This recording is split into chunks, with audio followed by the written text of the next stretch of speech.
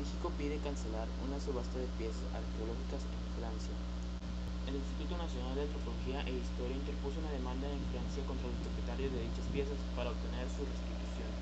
El gobierno pidió cancelar una subasta de más de 120 piezas de arte precolombino organizado por la casa de ventas públicas Millón en el Hotel Drouot, en París, Francia, que tendrá lugar el pasado miércoles 18 de septiembre.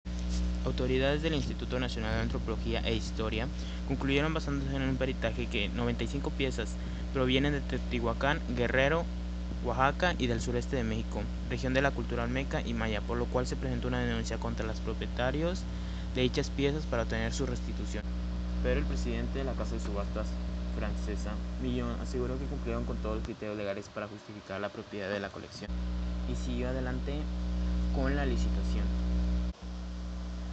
El presidente de la Casa de Subastas Millón asegura que los dueños cumplieron con todos los criterios legales para justificar su propiedad de la colección, que, reunieron tras el de una de ellas en una galería de París en 1963, que incluye esculturas, máscaras y objetos religiosos desde antes del año 1000 a.C. hasta el siglo XVIII después de Cristo.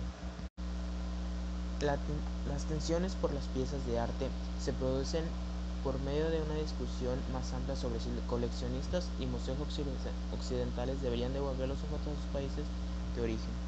Los coleccionistas y museos muchas veces argumentan que en esos países no recibirán el cuidado adecuado